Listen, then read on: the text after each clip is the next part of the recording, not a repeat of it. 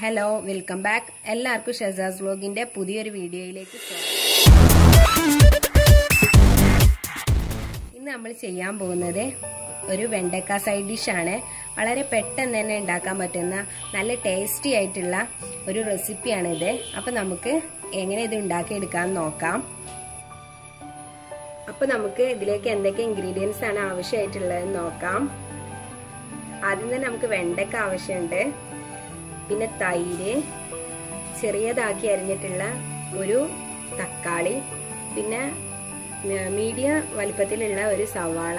അത് നാല് കഷ്ണങ്ങളാക്കിയിട്ട് ഇതളുകളാക്കി വെച്ചിട്ടുള്ളതാണ്. പിന്നെ ഒരു ചെറിയ സവാള നന്നാക്കി ചെറുതാക്കി അരിഞ്ഞിട്ടുള്ളതാണ്.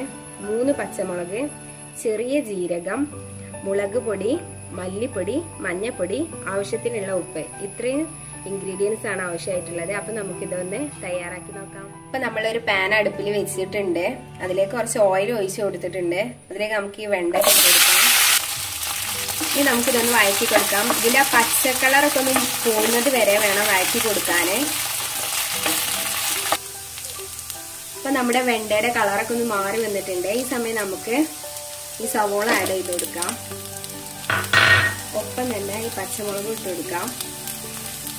ഇത് വഴറ്റി കൊടുക്കാം. സവോള ഒന്ന് ജസ്റ്റ് സോഫ്റ്റ് ആയി വന്നാൽ മതി. നല്ലോണം ഇത് ജസ്റ്റ് സോഫ്റ്റ് മാത്രം മതി. കളർ മാറുമൊന്നും വേണ്ട. നമുക്കിപ്പോൾ ഫ്ലെയിം ഹൈൽ ഹൈ ഫ്ലെയിമിലൊന്നും വെക്കേണ്ട ആവശ്യമില്ല. മീഡിയം ഫ്ലെയിമിൽ വെച്ചിട്ട് കുക്ക് ചെയ്തെടുക്കുകയാണ് ചെയ്യേണ്ടത്. ഈ സമയം നമുക്ക് ഇതിലേക്ക് ആവശ്യമായിട്ടുള്ള കുറച്ച് ഉപ്പ് ഇട്ട് കൊടുക്കാം. നന്നായി മിക്സ് ചെയ്യാം. സോഫ്റ്റ് ആവുന്നത് വരെ മാത്രം മതി. ഇപ്പൊ തന്നെ ഏകദേശം നമ്മൾ സവോള സോഫ്റ്റായി വരാൻ തുടങ്ങിയിട്ടുണ്ട്. ഇപ്പൊ ഇത് നമ്മുടെ ഉള്ളിലൊക്കെ നല്ലോണം സോഫ്റ്റ് ആയി വന്നിട്ടുണ്ട്. ഇനി ഇത് നമുക്ക് വേറൊരു പാത്രത്തിലോട്ട് മാറ്റാം. അപ്പൊ നമ്മുടെ വെണ്ടക്ക നമ്മൾ വേറൊരു പാത്രത്തിലേക്ക് മാറ്റിയിട്ടുണ്ട്. എന്നിട്ട് സെയിം പാൻ തന്നെ നമ്മൾ അടുപ്പിൽ വെച്ചിട്ട് ഓയിൽ ഒഴിച്ചു കൊടുത്തിട്ടുണ്ട്. ഇതിലേക്ക് നമ്മളിപ്പോ ഈ ചെറിയ ജീരകമാണ് നമ്മൾ ചേർത്ത് കൊടുക്കുന്നത് ഒപ്പം തന്നെ ഈ സവോളയും കൂടി ചേർത്ത് കൊടുക്കാണ്. ഇത് നന്നായി ഒന്നിനി വഴണ്ട് വരട്ടെ. അപ്പൊ നമ്മുടെ സവാള നല്ലോണം വഴണ്ടി വന്നിട്ടുണ്ട് ഇനി നമുക്ക് ഇതിലേക്ക് തക്കാളി ആഡ് ചെയ്ത് കൊടുക്കാം. ഇനി ഇത് നല്ലോണം ഒന്ന് സോഫ്റ്റ് ആവട്ടെ.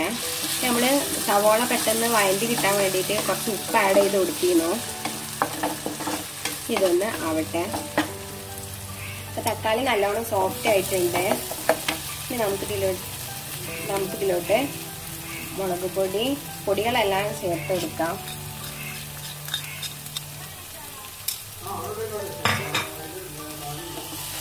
ഇതിന്റെ പച്ചമണൊക്കെ ഒന്ന് മാറി വരട്ടെ. ഇപ്പൊ പൊടികളുടെ പച്ചമണൊക്കെ മാറി വന്നിട്ടുണ്ട്. നമുക്ക് ഇതിലേക്ക് നമ്മൾ മാറ്റി വെച്ചിട്ടുള്ള വെണ്ടക്ക ചേർത്ത് കൊടുക്കാം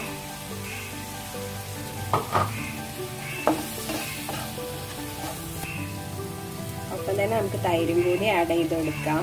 ഇതിപ്പോ ഒരു മൂന്ന് നാല് സ്പൂണോളം തൈര് ഉണ്ടാവും. അധികം വലിയ പുളിയൊന്നും ഇല്ലാത്ത തൈരാണ്.